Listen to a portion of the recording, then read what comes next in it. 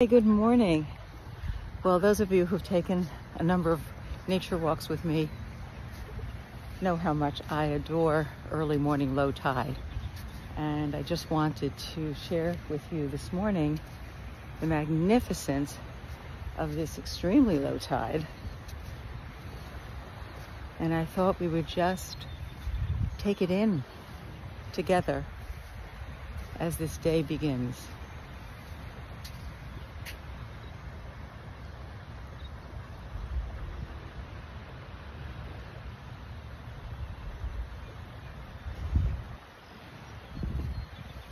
I made the mistake of turning on the news this morning, something I try not to do early in the morning, and it just got to be so much, too much, with insults flying back and forth and rudeness taking center stage.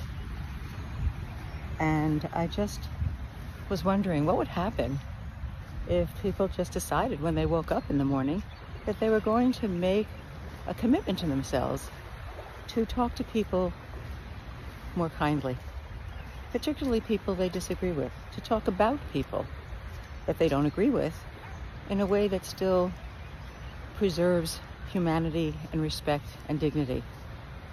And that thought brought me out here to try and ground myself, to try and recenter myself, and to recommit myself, and hopefully ask you to think about the same thing to consciously and intentionally choose our words and our actions that really are trying to be for good.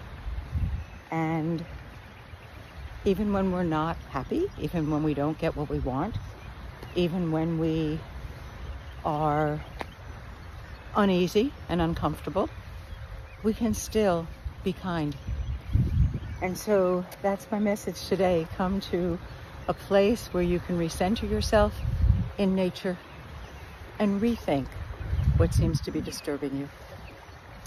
Thanks a lot for joining me on this nature walk talk. I'll see you soon.